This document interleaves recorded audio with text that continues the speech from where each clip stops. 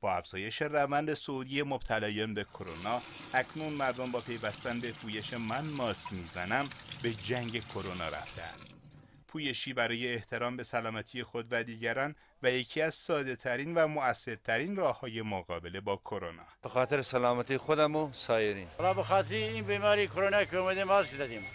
به خاطر این جامعه به خاطر سلامتی خودمون خانوادهمون. اصناف هم در ارائه خدمات به مشتریان رعایت پروتکل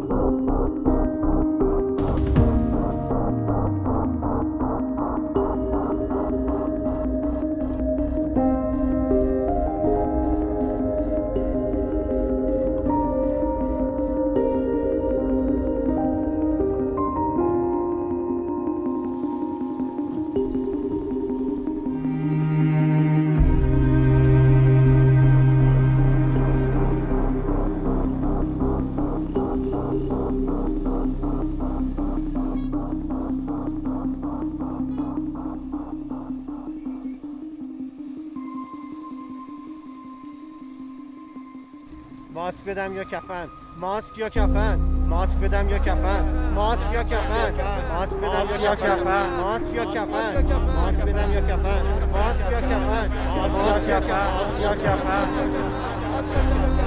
ماسک یا کفن ماسک یا کفن ماسک یا کفن ماسک یا کفن ماسک یا کفن ماسک یا کفن ماسک یا کفن ماسک کفن. کفن. نه کفن نه کفن نه کفن نه. ماسک می‌زنم ماسک می‌زنم. ماسک می‌زنم. ماسک می‌زنم. ماسک می‌زنم. ماسک می‌زنم.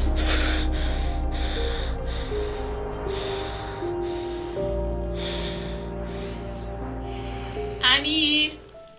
امیر مامان پاشو دیرت نشه.